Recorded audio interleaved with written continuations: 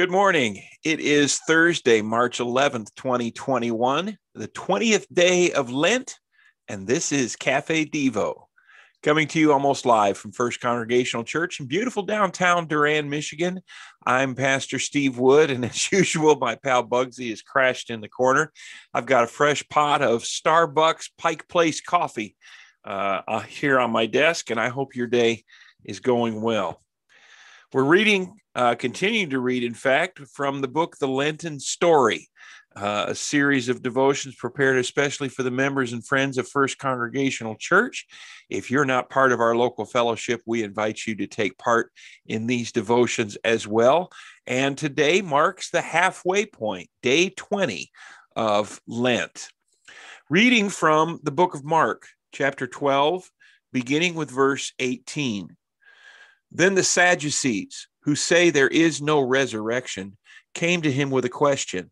Teacher, they said, Moses wrote for us that if a man's brother dies and leaves a wife but no children, the man must marry the widow and raise up offspring for his brother.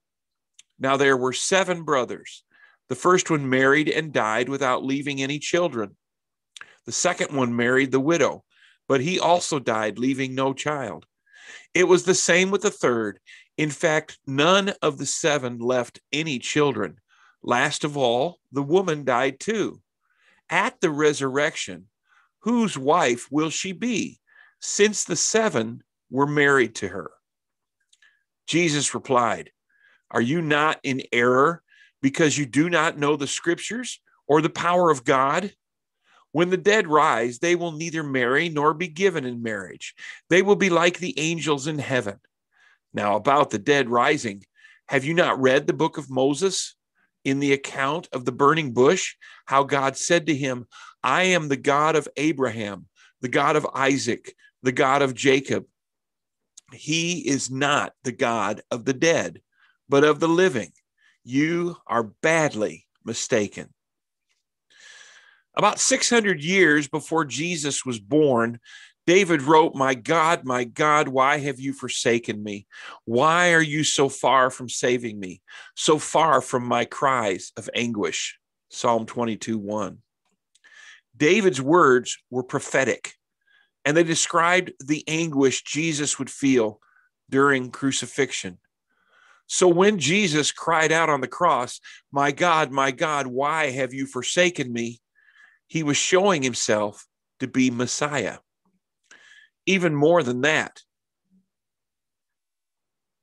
he was enduring the pain and suffering of our sin. The sense of abandonment was overwhelming, even for Jesus. He suffered more than anyone has ever suffered, yet he remained obedient. When we are insulted or accused or mocked, our tendency is to become defensive to become angry, envious, resentful, anxious, and proud. We want to strike back. Jesus did not strike back or defend himself. He went humbly and willingly to the cross because he, because he had his mind set on something else us. So meditate on the life and death of Jesus today. Let the magnitude of his sacrifice sink in. Let the pain of his suffering become real in your mind. As scripture says, let us run with perseverance the race marked before us, fixing our eyes on Jesus, the pioneer and perfecter of faith. For the joy set before him, he endured the cross, scorning its shame, and sat down at the right hand of the throne of God. Hebrews chapter 12. Have you ever felt abandoned or forsaken by God? Have you felt mocked or persecuted by others? How do you respond? Bless us this day, O Lord, as we call upon you once again in the name of Christ. This is the day you have made, and we choose to rejoice in it. But we ask for your guidance. We ask you to guard our words, to fill our minds, to protect us, and to guide our steps.